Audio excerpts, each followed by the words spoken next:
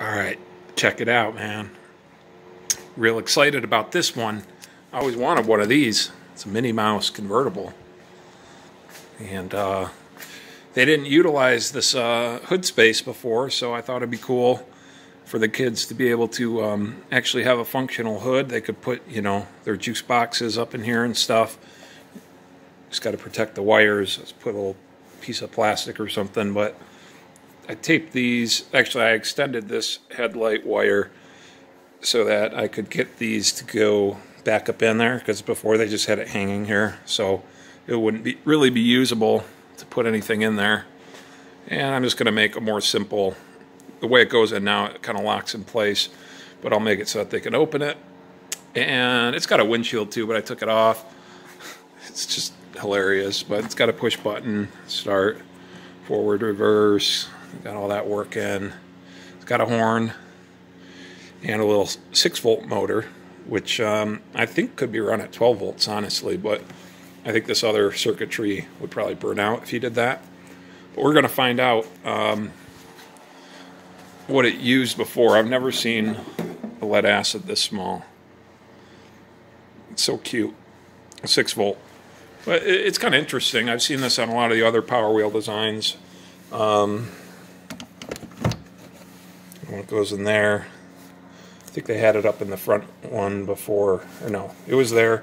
But there was space for two of them. I cut out like all the different supports because I'm going to put in a much larger battery. Like there's these, that one upwards in here before, and a little plastic piece that goes over that. Um, but as you can see, they made it so there's you could put two batteries, and you see where that motor is over there. Well, they put a cutout on this side too. So uh, it could just be the mold making process. It's easier, or if they wanted to be able to, you know, sell a six volt model and a 12 volt model. But then it got me thinking, like, all right, so if you ran a 12 volt, these are a six volt battery. What would they do? Just put two six volts and have one battery go to each motor, or would you put two six volts, have and have 12 volt motors, two of them, and you know you could do it either way um, but yeah. But what I'm gonna do I'm taking some Toyota or sorry Panasonic really. Nickel metal hydride modules I like to use these for the kids toys because they're very safe and I give them a slow charger and uh, then you don't got to worry about it you don't need any BMS, you know, um, as long as you charge it slowly. So yeah, these, I had to cut some of this shit out and, uh, you know, seal it up, make it a little better. I know it looks terrible right now.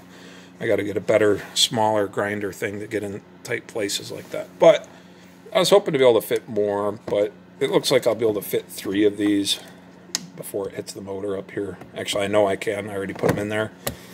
But either way, that's a big improvement over what it had before. Even just one of these is more power than it had before. And these are used, but it, it's still going to have quite a bit more power.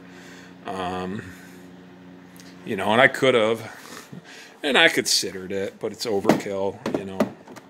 Could have went up here, you know, could have did something like that. Yeah, if I really wanted to maximize this thing. I could have had it look like a supercharger too, you know, sticking out of the hood, make a cutout in the hood. You could have fit, what, quite a few. Pulled off my tape. If you did it that way, you could fit a bunch, but this is a, a little kid's toy. Um, and considering it had one 6 volt, uh, what was it, like a, a 4 amp hour or 7 amp hour or something, let me see. It's uh, cycle use 2.1 amps initial current, uh, 7 amp hour. That's what it says. These are la, la, la, these are 8 or 7.2 nominal volts, uh, 6.8 amp hours. when you say it that way, it doesn't sound as impressive, but it's definitely a lot more energy in this. I guess I'd have to look at the watt hours on that, but anyways, That's what we'll have in the end here. And uh, some little girl will be real happy with her Minnie Mouse. I considered painting it and doing all that. I was like, nah, you know, they already made it look all pretty. I'll come across a Jeep one or something to give to a boy or whatever. I don't care. They want this one.